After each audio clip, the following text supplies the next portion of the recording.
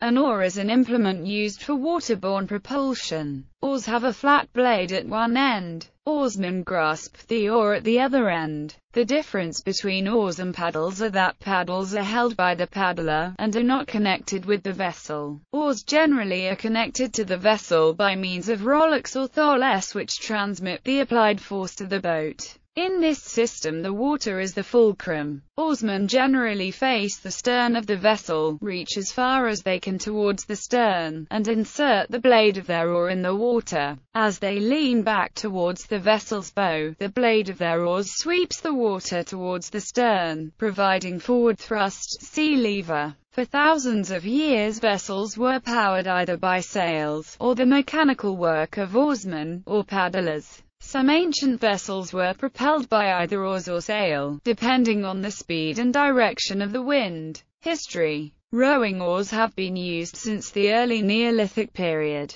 Wooden oars, with canoe-shaped pottery, dating from 5000-4500 BC have been discovered in a Hemudu culture site at Yuyao, Zhejiang, in modern China. In 1999, an oar measuring 63.4 centimeters in length, dating from 4000 BC, was unearthed at Ishikawa Prefecture, Japan. Construction. Oars have traditionally been made of wood. The form is a long shaft with a flat blade on the end. Where the oar connects to the boat there is a collar, which stops the oar slipping past the rowlock. Oars usually have a handle about 150 mm long, which may be a material sleeve or alternatively an ovoid shape carved to fit the hands. Balanced oar. This is a normal, usually wooden oar to which weight has been added at the inboard end so that the blade end is noticeably lighter and easier for a rower to operate without fatigue.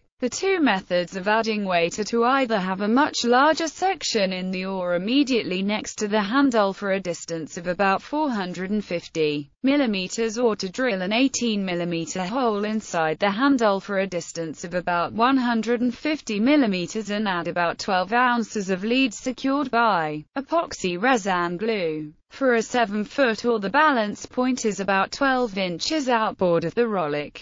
This type of oar is much better for long-range rowing. Oars used for transportation. The oars used for transportation come in a variety of sizes. The oars used in small dinghies or rafts can be less than 2 meters long. In classical times warships were propelled by very long oars that might have several oarsmen per oar. These oars could be more than a dozen meters long. Oars used for competitive rowing. The oars used in competitive rowing are long poles with one flat end about 50 centimeters long and 25 centimeters wide, called the blade. The part of the oar the oarsman holds while rowing is called the handle. While rowing, the oars are supported by metal frames attached to the side of the boat called outriggers. Classic oars were made of wood, but modern oars are made from synthetic material, the most common being carbon fiber. Oars used as trophies. The sport of competitive rowing has developed a peculiar tradition of using an oar as a memento of significant race wins.